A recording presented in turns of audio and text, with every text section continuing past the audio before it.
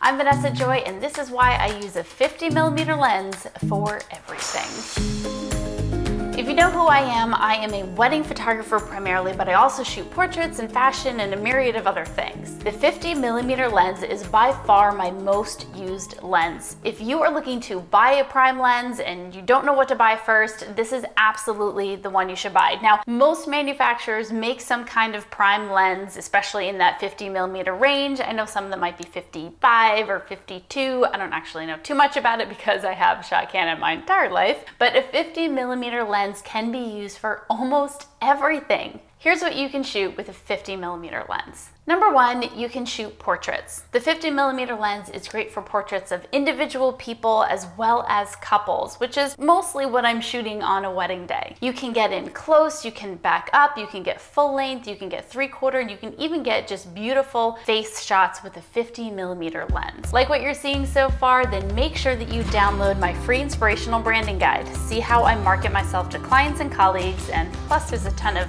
photography eye candy as well. You don't have to stick with just individual and couple portraits with the 50, you can also shoot groups. When I'm shooting family photos or at the church or in a park, I like to use a 50 millimeter lens to add a little bit of compression. I can get a ton of people in the photo in a somewhat tight space, but it makes them look more together when you're using a 50 millimeter lens versus a 35 or a 24. A 50 is also great for shooting details. Shoot details of a tablescape, shoot details of invitation, shoes, even jewelry, and some kind of lay flat. The 50 is my go-to for all of my morning prep pictures, all my detail pictures in the morning, as well as all of my reception pictures at night.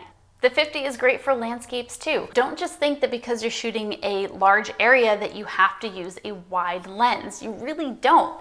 I shoot nighttime photos and roomscapes with a 50 millimeter. When you're using a prime lens, which means that it's a fixed focal length, in other words, you can't zoom in or out, it seems like something that's tedious, but you can always zoom with your feet, right? Go closer and further away. It seems like more work, but trust me, you're going to get a much more crisp image out of a prime lens, typically, versus a zoom lens. Another great thing about a prime lens is that it has a really low aperture in most cases. This gives you a more shallow depth of field, giving you that nice soft dreamy background, beautiful bokeh, and it also lets you draw the viewer's attention to a certain point of focus. Now, this can make it a little bit more difficult to focus, but also with prime lenses is usually the ability to focus faster. If you purchase your brand's top-end prime lens, it's usually a very fast focusing lens.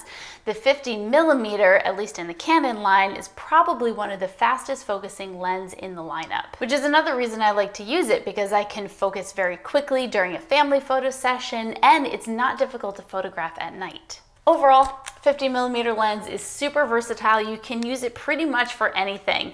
If I had one lens to take with me on a wedding day and I couldn't have anything else, this would be it. I use a 50 millimeter, or I can use a 50 millimeter for anything except macro shots. But let's not go there yet. I'm Vanessa Joy. Make sure that you hit subscribe and ring the bell. Get notified when I have new content here, which I promise won't be sporadically. So if you have questions, please leave them in the comments. I'm going to do my best to respond to them and then probably use them to make new videos. So if you have suggestions, please feel free, hand them over.